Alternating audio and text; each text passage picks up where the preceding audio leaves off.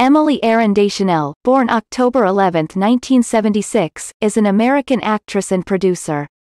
She is best known for starring in the Fox crime procedural comedy drama series Bones as Dr. Temperance Brennan since 2005.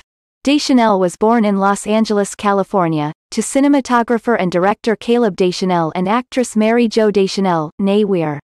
Her younger sister is actress and singer-songwriter Zooey Deschanel. Her paternal grandfather was French, from Orleans, Rhône. Her ancestry also includes Swiss, Dutch, English, Irish, and other French roots. Deschanel attended Harvard Westlake and Crossroads School in Los Angeles before graduating from Boston University's Professional Actors Training Program with a Bachelor of Fine Arts in Theater. In 1994, Deschanel made her feature film debut in It Could Happen to You. Her next notable role was in Stephen King's Rose Red in 2002. Then she appeared in Cold Mountain, The Alamo, and Glory Road and was named one of six actresses to watch by Interview magazine in 2004. In 2005, Deschanel won the role of Dr. Temperance Brennan with David Boreanaz as FBI agent Seeley Booth on the Fox crime procedural comedy drama Bones, based on the novels and the career of forensic anthropologist and author Kathy Reichs that premiered on September 13, 2005.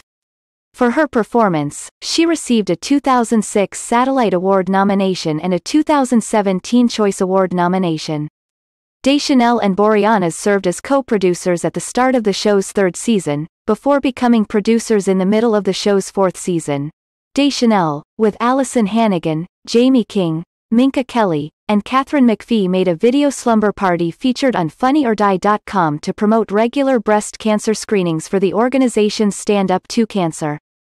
In recent years, her passion for animal welfare has led her to providing the narration for My Child as a Monkey and serving as an associate producer on the documentary film How I Became an Elephant. Deschanel ranked number 72 in the 2012 Hot 100 on After Ellen, Deschanel is a vegan and a committed supporter of animal rights causes.